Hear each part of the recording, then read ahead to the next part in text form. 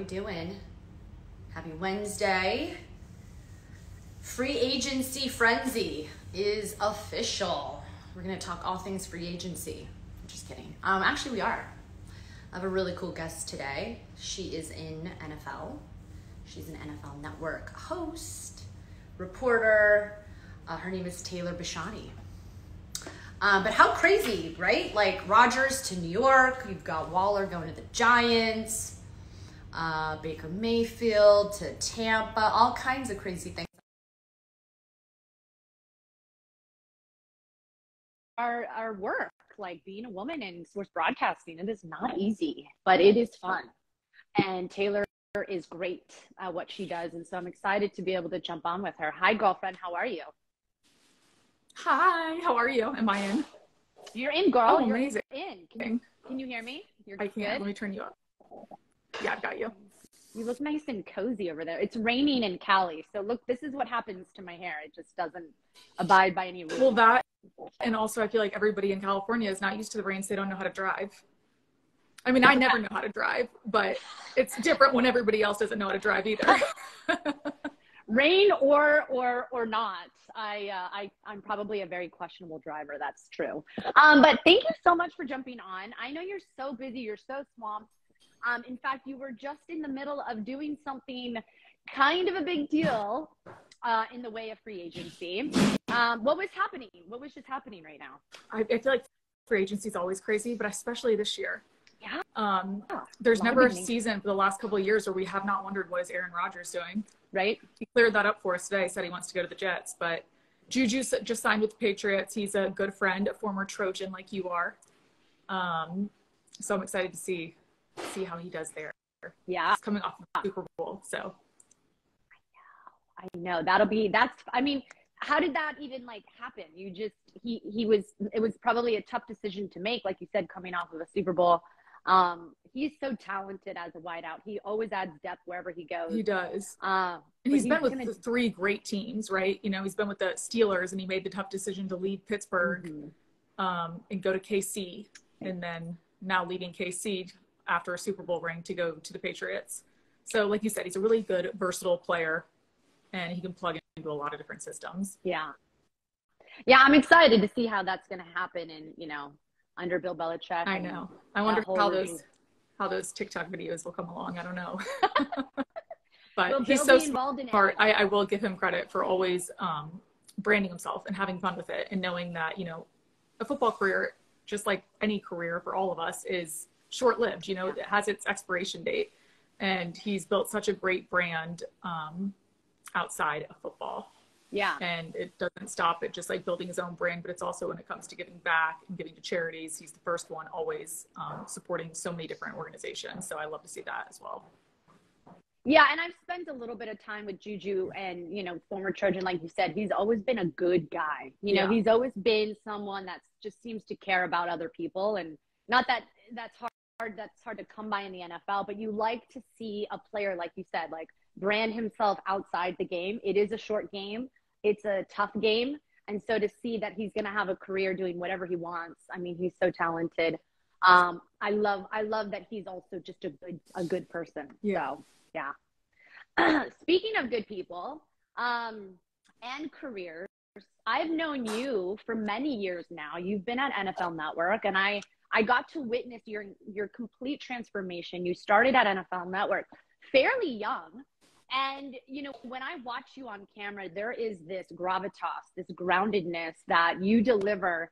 You're always the first one to like break news or share it on Twitter. Your finger is on the pulse when it comes to the game of football.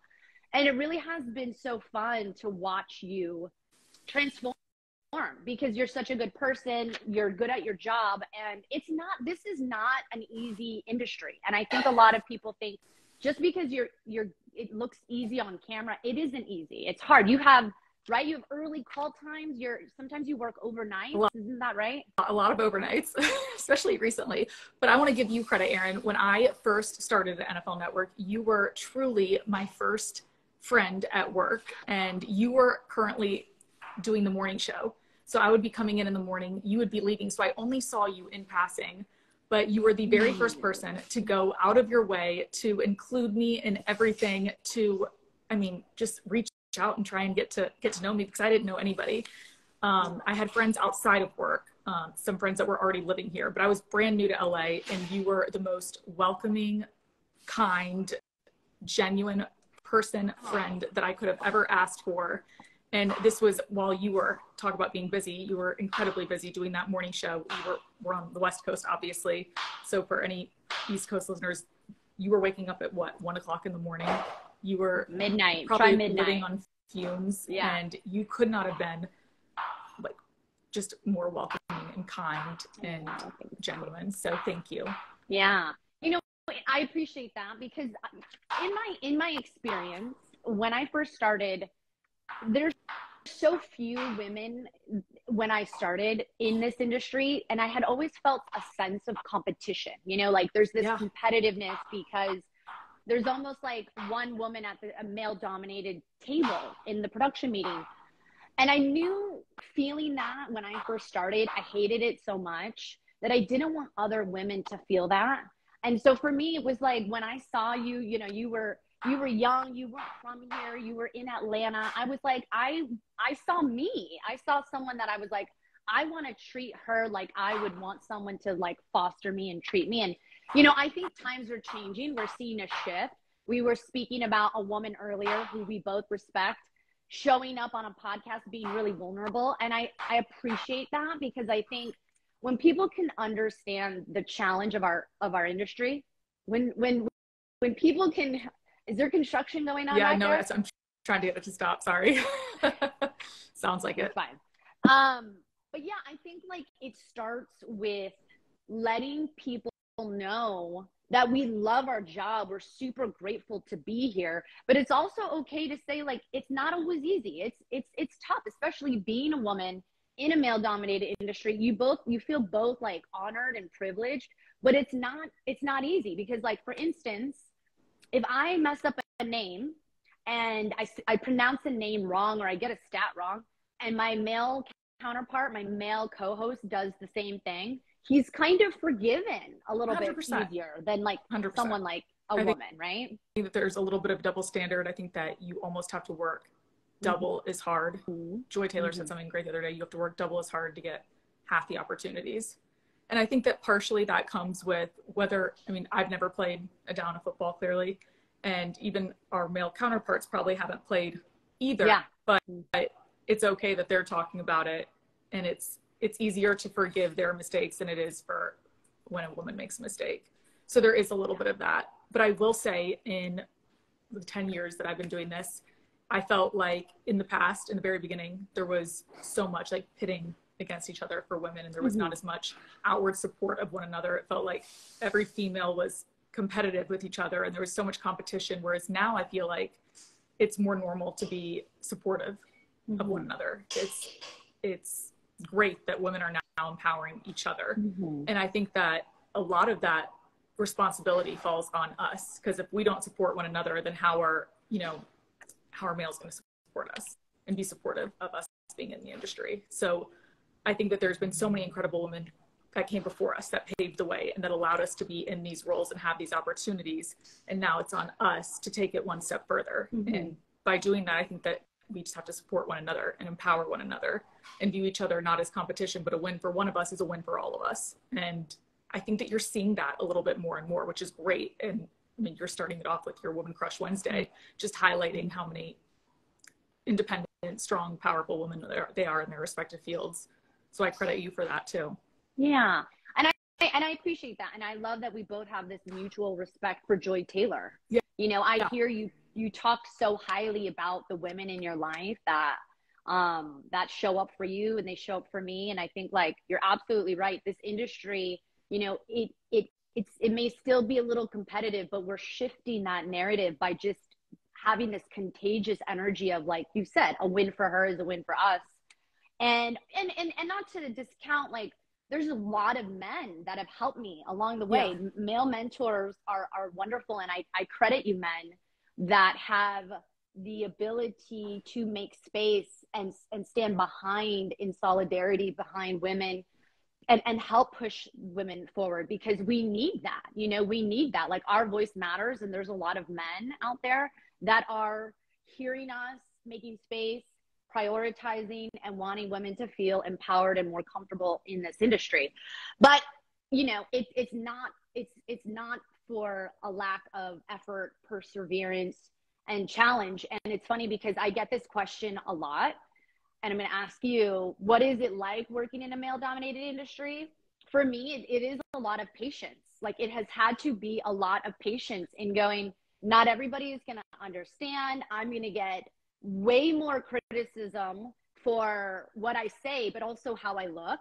How you um, look, what your hair looks like, what you're wearing. Um, if you change your hairstyle, God, God forbid, um, your earrings, your like yeah. jewelry, it's everything it's everything except what you're actually saying is usually what people comment on and i find that it's almost really similar to like social media if you post something and you read 10 positive wonderful sweet kind comments those don't necessarily stick with you but it's the one mean one that really sticks with you mm-hmm.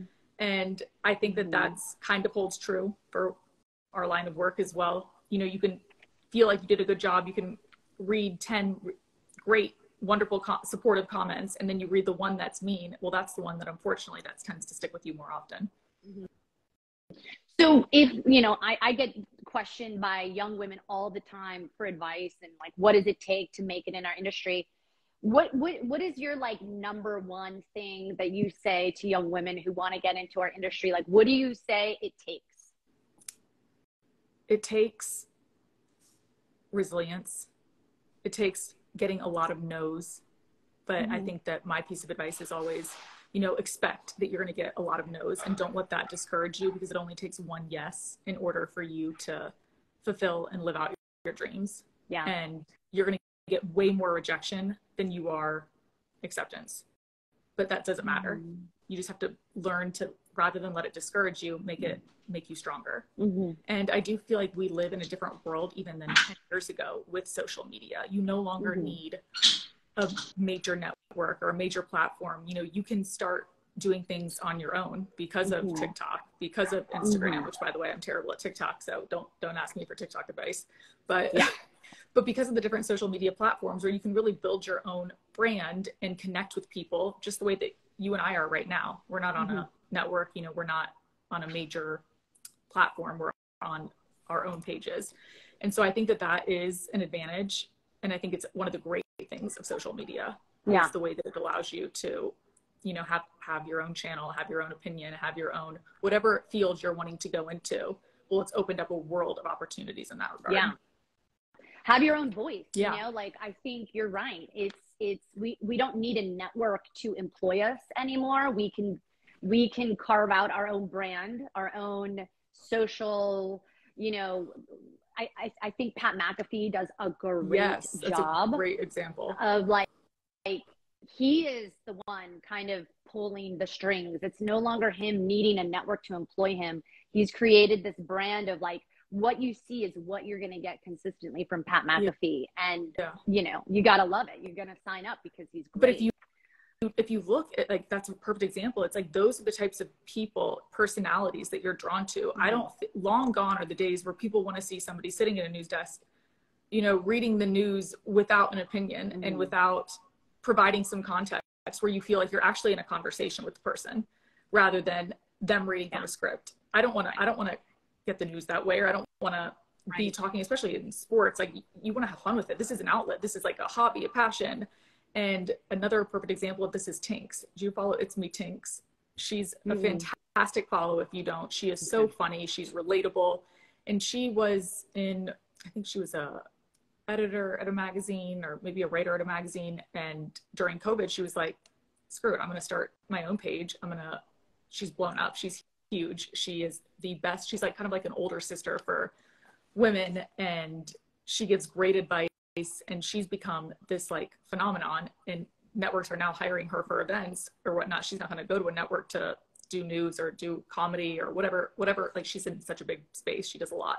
So i think that that you're seeing more and more of that and you're seeing more and more of pat mcafee where you're not so locked into this one little space. They allow you to be everything that you want to be have normal conversations, not have it as scripted because that's, I mean, people want somebody that is relatable. Mm-hmm. We're all human. We're not robots. Authentic. Yeah. Yeah. Authentic. You want someone that you can, like you said, relate to. And I think um, that's really, really, really good advice because the talking head, right? Like the days of the anchor just reading from a script. Guess what, guys? That person is highly replaceable mm-hmm. with another cheaper alternative that just came out of journalism school. Right. So I'm not advising for you to, you know, this isn't a conversation about branding, but I think that's really great advice for the young students of broadcast because broadcast is shifting. It is it people like they they want context. They know what they're going to get when they get a report from Taylor or they're going to get a, you know, a story from Pat McAfee or just something um I agree with you in service of perspective.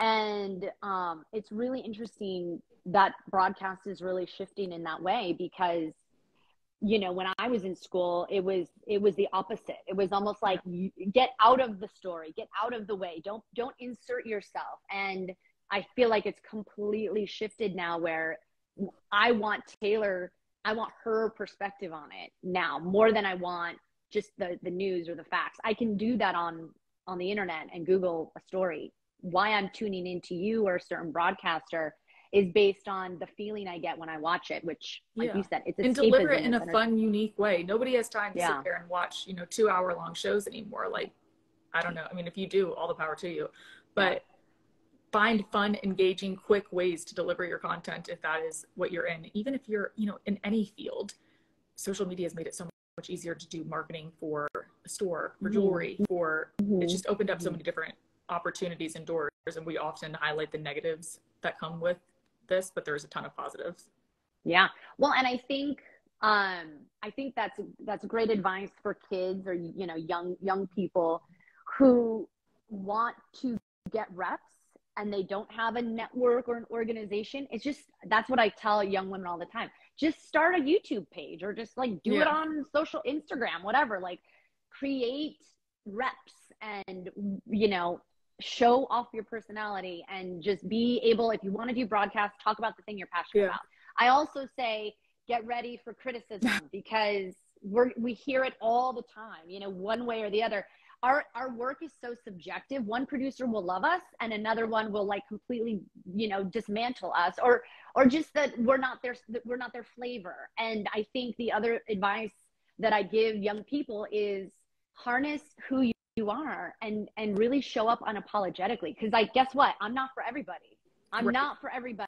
And the work for me even not even in my career is in general is in life is like not everybody's gonna love me. And guess what? Like i have to be okay with that. I mean at the end of the day i gotta love what i look you know the, the person in the mirror. So putting my my eggs in in someone else's basket like they're gonna offer me a boost in self-esteem i think is a is a ticket to a disaster situation right. because um it's just be happy it's highly criticized i mean i feel like yeah. that's the advice of whenever you're like thinking about you know diving into a new relationship it's like don't look to the relationship in order to fulfill what's missing inside of you you've got to fill that basket first with yourself and mm-hmm. work on mm-hmm. your own self before you can then go into a relationship so, I mean, I think that that holds true through relationships, through work, through through everything.